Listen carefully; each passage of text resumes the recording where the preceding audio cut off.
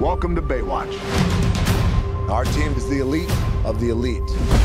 What was it like taking on this iconic character of Mitch Buchanan and to have the actual Mitch Buchanan, the Hoff, on set? Awesome. It was awesome. It was awesome. You know, it was a lot of fun. It was just a big opportunity for us to, you know, make a big movie, fun, rated R, make a lot of people laugh. Uh, a character that that David Hasselhoff made famous. Um, David's just such an awesome guy, you know, and he's he's he's one he's one of the rare guys in Hollywood, you know, that OG who came along at that time of that era where it was him and like Tom Selleck and guys like that. So he has remained cool and he's got his shit together and he looks great when you see him, you know, amazing. So I, I love the guy. Come on, Pete, make my pecs a little bigger. And don't cover up my front bump. You got it. Huge dick. Big dick. If I were to try out and if I wanted to join your team, Yeah. what would I have to do? Uh, you'd have to make out with Zac Efron. I can do that. Then you're in. Really? Yeah.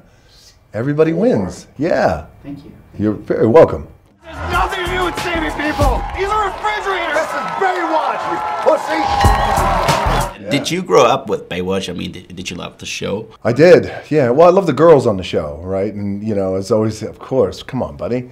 Uh, and also a big fan of David, you know, because at one time he was one of the biggest television stars in the world, right? Coming off of Knight Rider and then Baywatch. Uh, so yeah, I was a big fan of the show. So you know, it was really, it was a real privilege for us to make the movie. This is the guy you think is a good PR opportunity for us. Look, I get it. You're big, Sasquatch. But I'm fast. Shit, don't touch you. You suck. One last question, not related to Baywatch, but Black Adam. Is there anything you can let me know about that? Uh, other than we're working on it, it's a great time at DC. You know, they are really uh, over at DC and Warner Brothers um, so committed to building the world out. It looks like Wonder Woman is going to be a gigantic hit all around the world, which makes us so excited for all the right reasons. Not only selfishly because you know it's a DC property, but also.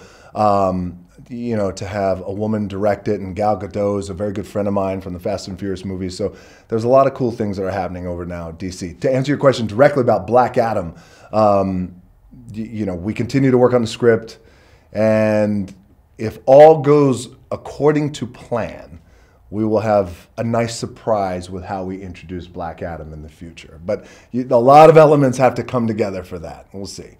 The producer of Black Adam is sitting right there, by the way. That's him.